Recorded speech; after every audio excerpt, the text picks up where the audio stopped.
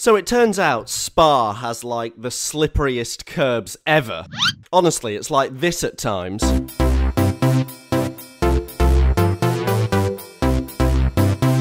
So it got my goat to such a degree that I decided to do a video about it. So here we are highlighting Spa's shambolic curbs and away we go now. And, well, you'll notice straight away that we have a serious connection problem here. I mean, it is absolutely catastrophic, the, the jumping that's going on in this Grand Prix. It's one of the worst start to a races I've ever seen in terms of lag.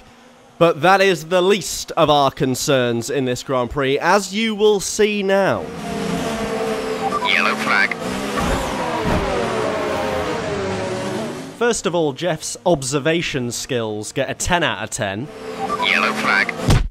But I know what you're thinking. You're probably thinking that was the grass that sent you spinning rather than the curb. And do you know what? You're probably right. You're probably right on that one. I'll let that one go. I'll let that one go. But let's carry on.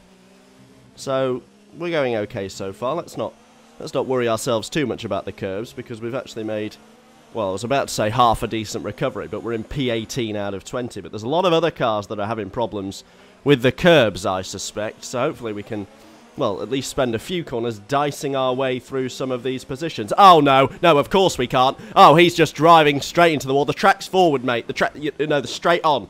You need to go straight on. Straight, no, it's not left. It's straight on. Well, that was pretty farcical, I think you'll agree, but uh, we're finally going in the right direction now as we've decided to reverse. And uh, things are pretty bad once again. P19, and this is when the curbs really come into their own. So here we go now.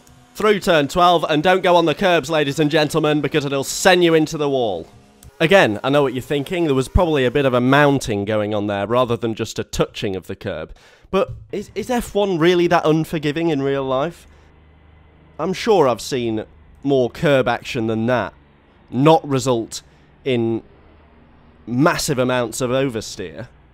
Anyway, on we go now through turn 16. How's this one going to go? Ah, yes, quite badly. Quite badly indeed. Can't really explain that one. But there we are.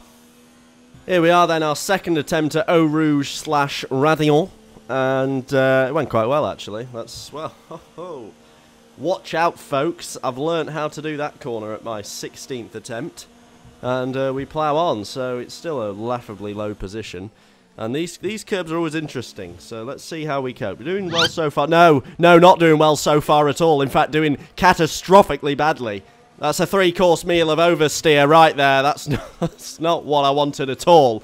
And in fact, if we compare that lap with the lap before, it turns out that if you take bucket loads of the curb on that corner, you're fine. But if you just touch it, you're absolutely up a creek without a paddle. Whereas at turn 12, if you take bucket loads of the curb, you're in big trouble. So I, I can't, my consistency's all over the place here. Let's have a little play with turn 13 then and see what the curb does to us there. Just a little tyre on it, and yeah, no, it's it's not happy. It's sending us the wrong direction there. Just a, a smidge of oversteer as we went through the corner, but we actually surprisingly managed to hold that one together. So turn 13's a nice rink, and one to uh, consider on your travels. So we've learned from our mistakes with Eau Rouge, Raidillon, turns 7, 8 and 9, and we just went nowhere near the curbs. But if you think that that's the end of my woe for this Grand Prix, then you are sadly mistaken, as we're now getting towards the denouement of the Grand Prix, and if you can explain what happened there, then I would love to know. It's just like the curb at turn 12 is one big spin out zone. It's, it doesn't matter where you hit it, at what point you hit it, you're going to go off. You're going to go off. It's just one big red. Don't go near this area. So yeah, does anyone else have this massive problem with Spa where it's just like huge amounts of oversteer and you're virtually in opposite lock because of what the curbs do? And it seems so inconsistent because now I'm on the curbs, touch the curb a bit there, I'm fine. Other times I touch it and I'm off. Other times I'm on it loads and I survive. Other times I'm on it loads and I'm off. Maybe I'm just a bad player. I don't know. Does anyone else have this problem?